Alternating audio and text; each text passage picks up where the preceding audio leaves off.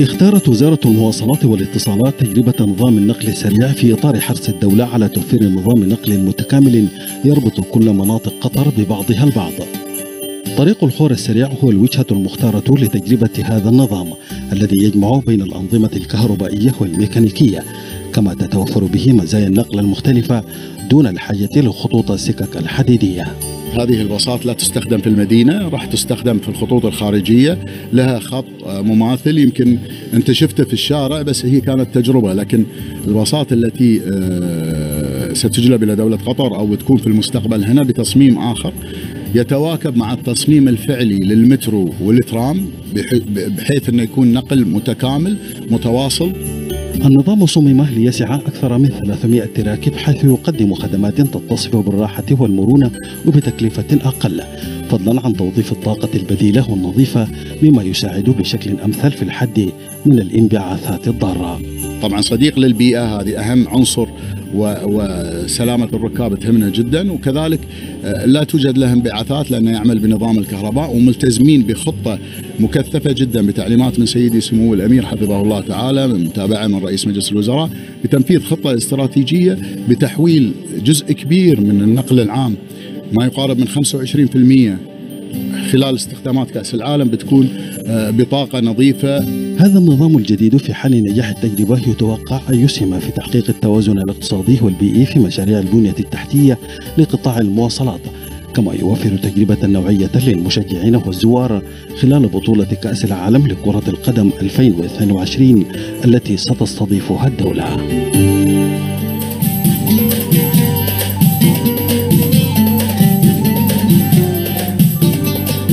إذا مشاهدينا الكرام هذا النظام راح يساهم في إحداث تغيير كبير في أنظمة النقل على مستوى الدولة. ونتمنى إن شاء الله نجاح هذه التجربة وتعميمها على جميع أنحاء الدولة بإذن الله سبحانه وتعالى. نفس ما شفنا طبعا في هذا التقرير تفاصيل عن هذا النقل الجديد. طبعا يسعدنا في هذه الفقرة استضافة السيدة نور إبراهيم شهداد مدير إدارة التعاون الدولي ومدير إدارة العلاقات العامة والاتصال بوزارة المواصلات والاتصالات بالإنابة. للحديث أكثر عن هذه التجربة. سعد الله مساك بالخير أختي نور. هلا مرحبا فيكم. إحنا سعداء جدا بتواجد معنا في برنامج حياتنا. بداية لو نتكلم ونحدث السادة المشاهدين أكثر عن إطلاق تجربة تشغيل نظام النقل السريع الأوتوماتيكي لأول مرة في العالم عندنا في قطر بعد الصين. بالنسبة لهذه التجربة يعتبر تعتبر هذه الوسيلة وسيلة نقل عصرية مبتكرة وصديقة للبيئة. تعمل طبعا بنظام ذكي للاتصالات. آه، بالإضافة إلى ذلك فهي تعمل آه، تجمع ما بين آه، صفات الترام والحافلات والقطارات وتعمل طبعا على البطاريات من خلال الشحن وأيضا لها مجموعة من العجلات اللي تخليها تسير على الطرق العادية. جميل. نعم. طبعا جميع المشاهدين أو شافوا على وسائل التواصل الاجتماعي هذه التجربة صراحة نتكلم عن القدرة الاستيعابية والمدة الزمنية. آه، بالنسبة للقدرة الاستيعابية فالوسيلة هذه ممكن تشيل ما يقارب آه، أو ما يزيد على 300 شخص. آه، تعتبر هذه تعتبر هذه الوسيلة يعتبر طولها تقريبا 32 متر.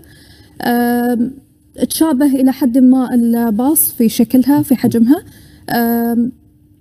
بالنسبة لعملية الشحن أو مدة شحن الباص فهي تتراوح ما بين سرعتين للشحن. في الشحن الأول اللي هو الشحن السريع لمدة عشر دقائق وممكن يسير هذه الوسيلة لمدة أو لمسافة 25 كيلومتر.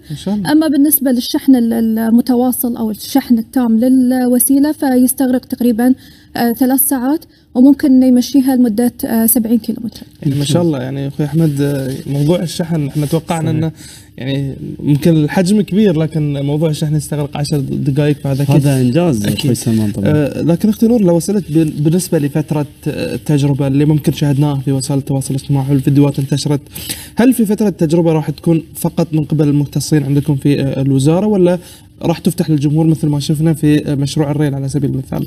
آه، بالنسبة حق هالتجربة لا راح تكون بس آه، في الوقت الحالي آه، بالمختصين خاصة بالمختصين. تجربتها معرفة جدواها هل هي فعلا مناسبة للظروف البيئية اللي موجودة في دولة قطر؟ هل هي تتناسب مع الطرق اللي موجودة في دولة قطر؟ وبعدها إن شاء الله ممكن إنه يصير في قرار بخصوص آه، تبنيها. جميل. إحنا ممكن آه، ويا المشاهد الكريم نشوف هذه اللقطات آه، على الشاشة لتجربة أخوي أحمد. نعم هذه التجربة طبعا تمت على خط الخور الساحلي ونشوف ال- الحافلة وانتقالها. هذه هي من ما الداخل. أيضا فخر فخر. ل 307 ركاب. نفس ما يعني- تفضلت أستاذة نور. صراحة يعني- شيء مشرف حقيقة. أكيد أكيد أخوي أحمد. يعني تجربتها لأول مرة بعد الصين طبعا في العالم. من من كان يتوقع مثل هذا ما شاء الله يعني. الله آه، يعطيكم الصحة أنا والعافيه كنت متفاجئ بهذه ال- الوسيلة الجديدة يعني في دولتنا الحبيبة قطر. إحنا بنتكلم عن شلون هذه الوسيلة راح تسهم في تحقيق التوازن الاقتصادي خاصة ان إحنا مقبلين على كأس العالم آه، 2022 وأيضا عندنا رؤية قطر الوطنيه 2030 آه، طبعا بالنسبة لرؤية قطر آه، 2030 فهذه ال- الوسيلة تكفل هي صديقة للبيئة. آه، بما أنها قاعدة تستخدم الطاقة البديلة الطاقة الكهربائية. جميل. آه، وتقلل طبعا من الانبعاثات الضارة آه، للطاقة أنواع الطاقة الأخرى.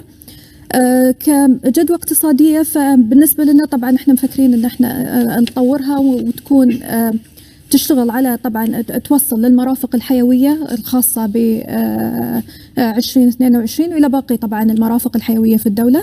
بحيث إن إحنا نضمن إن تكون في آه، نوع من التجربة الاستثنائية آه، اللي قطر قاعدة تحرص عليها طبعا بشكل دائم في التحضير لكأس العالم 2022 جميل. يعني يعني آه، أفهم من كلامك إنه بعد التجربة بعد نجاح التجربة بإذن الله سبحانه وتعالى هل راح نشوف تنفيذ هذه التجربة فقط في الطرق السريعة ولا بنشوفها أيضا في بعض الطرق الأخرى؟ على الأغلب راح تكون على الطرق السريعة منها طريق الخور الساحلي وطريقة خان آه، هذه طبعا الفكرة اللي موجودة حاليا والموضوع طبعا قيد الدراسة. نعم عندما نسأل عن آه، آه، الت- التصميم النهائي لهذا لهذه الوسيلة وسيلة النقل هل هو هذا التصميم ولا بيكون أيضا هناك تصاميم ثانية متوافقة مع خلينا نقول الطرق السريعة بحيث انه يكون أكبر أكثر مقطوره طبعا بالنسبة للمقبورات المقطورات حاليا هم عبارة عن ثلاث مقطورات آه، يعتبر يمكن أكبر حتى من الباص ال- العادي ويوازي تقريبا المترو في حجمه نوعا ما. بالنسبة للشكل راح يتغير إن شاء الله الشكل بحسب المتطلبات والمواصفات اللي إحنا آه، حابينها في دولة قطر واللي إحنا نبغيها في دولة قطر آه، راح طبعا ما ما ننسى إن الشكل الحالي طبعا شكل عصري آه، جميل مناسب. جدا يناسب أيضا ذوي الإعاقة آه، يراعيهم في طلعتهم ونزلتهم في حتى تحرك ذوي الإعاقة داخل الباص.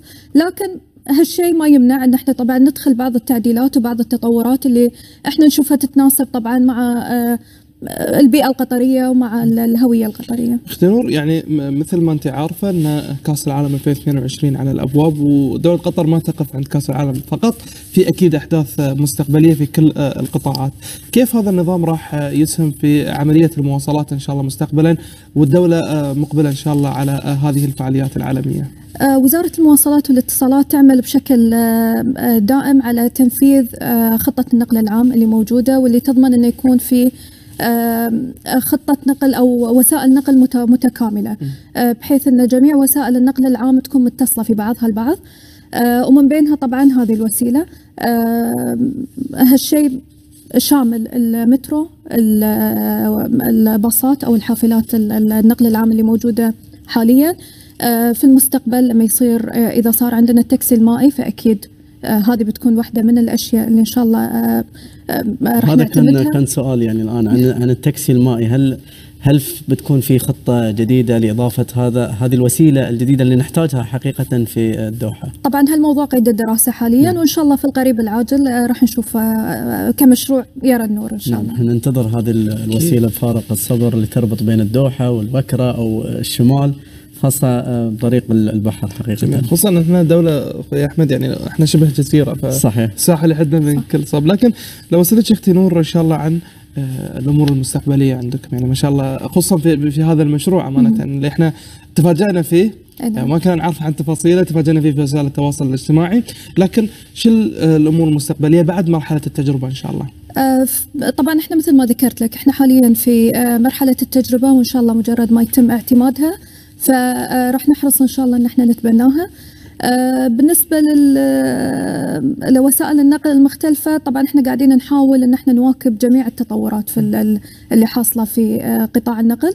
وأي شيء جديد طبعا قاعدين نحاول إن إحنا نجيبه ونجربه والأهم طبعا من هالشيء إنه يكون متناسب مع آه، ال- الأجواء في دولة قطر، المناخ في دولة قطر ويتناسب طبعا مع عملية آه، آه، انتقال الناس طبعا في الدولة. إحنا أختي نور طبعا في انتظار دائما الجديد من قبلكم ودائما يعني ننتظر يعني أشياء صراحة تفاجئنا نفس ما تفاجئنا بهذا النقل الأوتوماتيكي. لو توجهين لنا كلمة آه، أخيرة للجمهور بخصوص طبعا هذا الموضوع وتحقيقه أيضا لرؤية قطر الوطنية 2030 آه، يمكن الكلمة اللي راح أوجهها شوي آه، تشمل قطاع النقل بشكل عام. إحنا دائما نشدد على الناس أنهم يبتدون يستخدمون وسائل النقل العام بشكل عام.